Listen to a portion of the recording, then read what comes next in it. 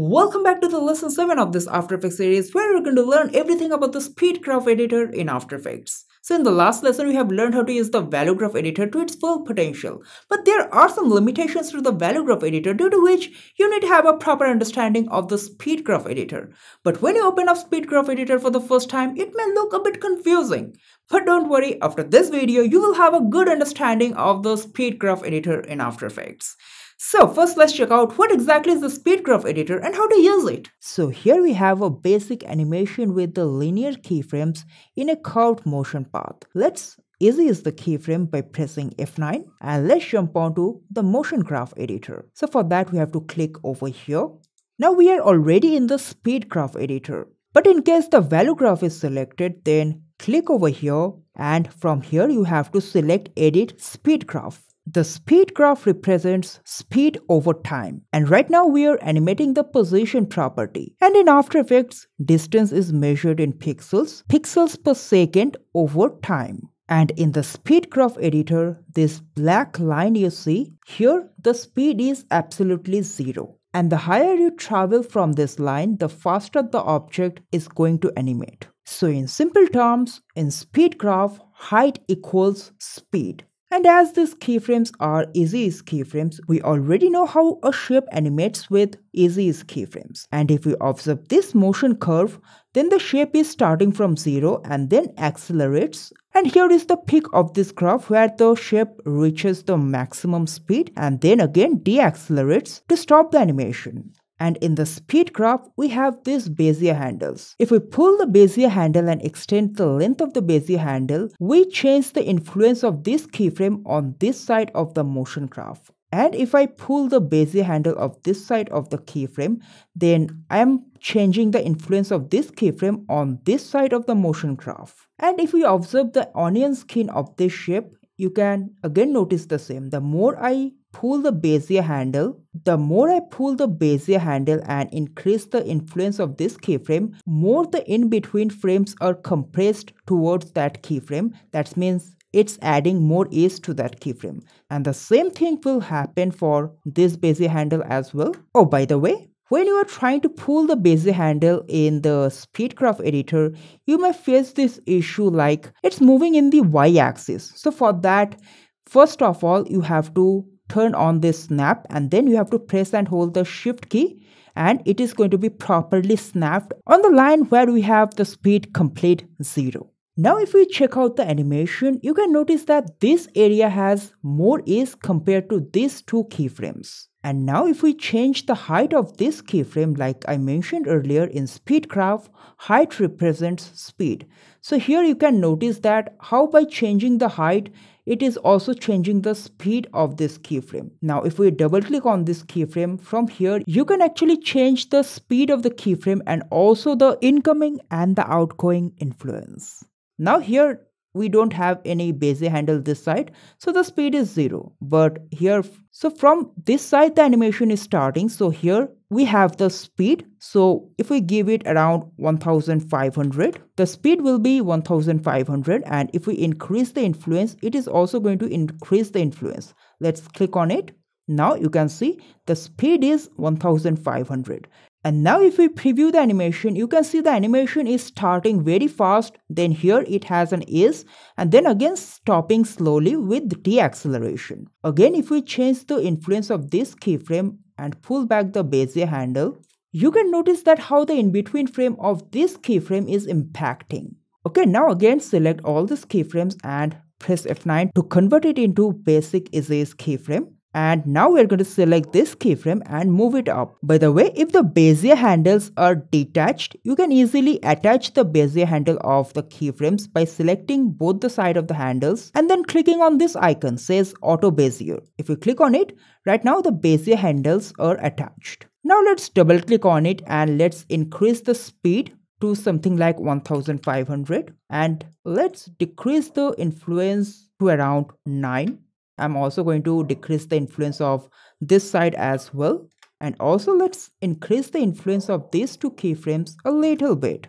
And now if we preview the animation, you can notice that the shape is starting slow and here it has a continuous motion and then again deaccelerating to stop the animation. And if we pull it even further, let's select this keyframe and double click on it and let's increase the speed to around 2500 or let's give it 3000 we're going to go to extreme and press ok. And at the same time we're going to ease out both the end of the keyframes. And now you can notice the animation is a little snappy this time and now it's time for the final assignment of this lesson. So here we are going to animate this ball that is coming inside the screen and traveling this arced path and then going outside the screen. Okay, let's add a keyframe on the position property and let's place the ball over here. And let's jump on to next 8 frame and let's place the ball over here and now we are going to make the motion path curved.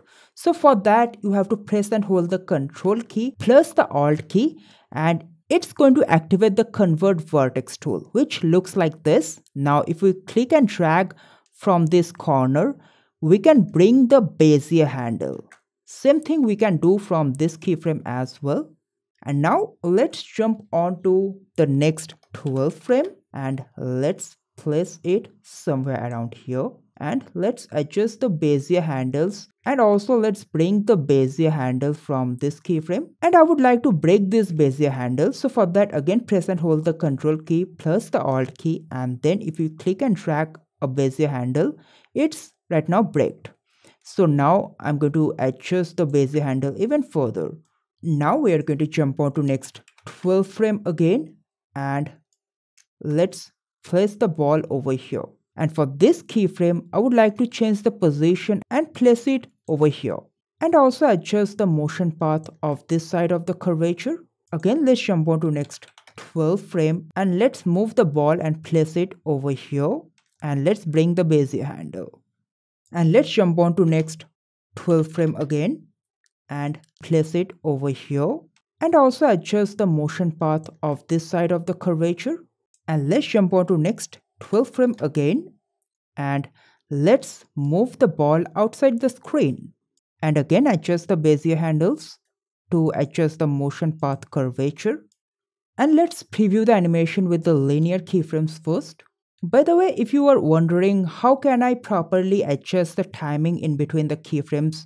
And how do i know it is actually going to look good well, the thing is that you have to practice a lot with the timing and spacing and do some experimentations with it to have a proper understanding of how much frames you need to put in in between the keyframes so that the overall animation looks good. The best way is first preview the animation with linear keyframes. If the overall timing looks good, then go with it. If it doesn't look good, then adjust the timing of the linear keyframes at this stage itself and you can further adjust the timing a little even after the final animation. So right now I'm going to select the keyframes and erase it by pressing F9 and let's jump on to the speed graph editor. In the speed graph editor, I'm going to select this keyframe and all the other keyframes that are there in this arc. So at this position of the motion path, the ball is going to move the fastest because it is moving under the force of gravity. When it is going up, it is going against the gravity. So at these positions, the ball should slow down and at these positions,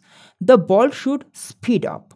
So we're going to select this keyframe, this one and this one and we're going to convert it to auto bezier keyframes. And then we're going to further move it up. Let's select this one and let's move it further up. And then we are going to change the influence of these keyframes as well. So let's adjust these keyframes a little bit and let's move this further up.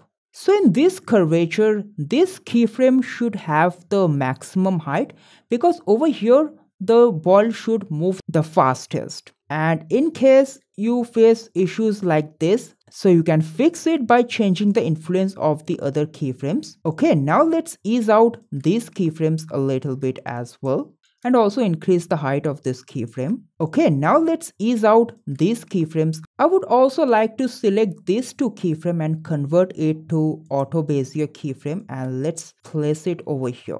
And let's further increase the ease of this keyframe. Well, I think here we need to add few more frames. So select all these keyframes and let's move it this side and slightly adjust the height of this keyframe. And again, select all these keyframes and move it this side. and slightly adjust the easing of this keyframe as well. Now let's check out the animation. Well, the animation is already looking pretty good. But there is a little issue over here. When the ball is reaching the maximum height, here it feels like the ball is completely stopping. But we don't want the ball to completely stop. It should slow down but it should have a very little movement there as well. So we can fix it very easily. Just move on to the motion graph editor. We're going to select these two keyframes. The keyframes where the ball is at the maximum height. All we're going to do is we're going to move it above the line of 0. So on this line, the speed is absolutely 0. If we move it above this line a little bit, it is going to move at a very little speed, but the speed is not going to be 0. So we're going to further ease out these keyframes a little bit. Let's move it even above. And also make sure that this thing doesn't happen. This keyframe should have the maximum height of this whole motion curve. And let's check out the animation.